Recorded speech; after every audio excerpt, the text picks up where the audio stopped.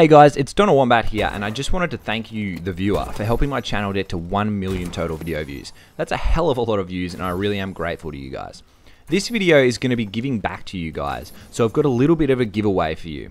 What I'm going to be giving away is three PS4 light bar decals. So yes, unfortunately, this is only going to be available to you PSV, PS4 guys.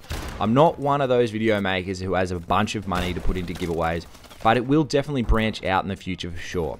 If you don't know what a light bar decal is, I'll put a few pictures of them in this video right now, but they are a little sticker that goes over your controller's light bar that leaves the light bar outlining the decal. They are a very cool little addition to any person's PS4 controller or controller in general. Now these controller decals have been more than generously provided to me by, for this giveaway by Mr. Gasjet. Mr. Gasjet is a local Aussie guy who has built his decal business from the ground up. His work is quality, his prices are great, and he's just a ripper bloke in general. If you want to check out some of his other products he has available, then you should definitely check out his eBay page. I will put a link in the description to it below. To enter the giveaway is super easy. All you have to do is leave a comment down below.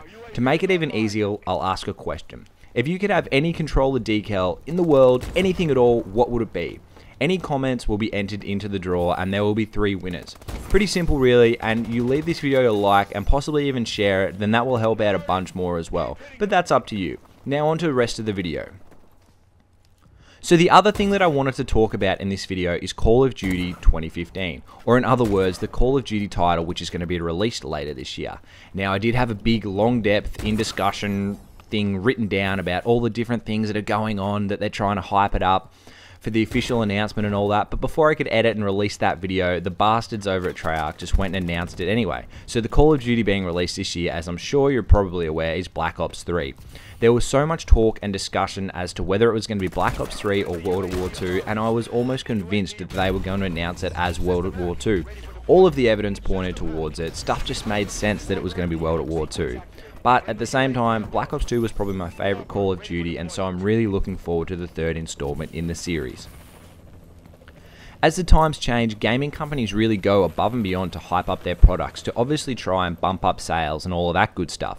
So this year, Call of Duty used this hugely popular smartphone app, Snapchat. About a week or so ago, Black Ops 2 received a very small update. Now, what did this add?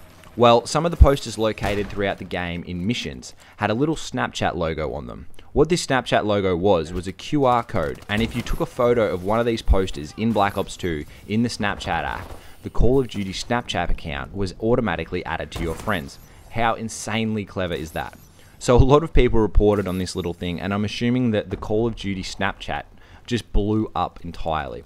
In the days after the Black Ops 2 had this little update, the Call of Duty Snapchat account, Snapchat account started adding little clips and stills to their story, all the way up until they released an official video of it being announced that it was going to be Black Ops 3.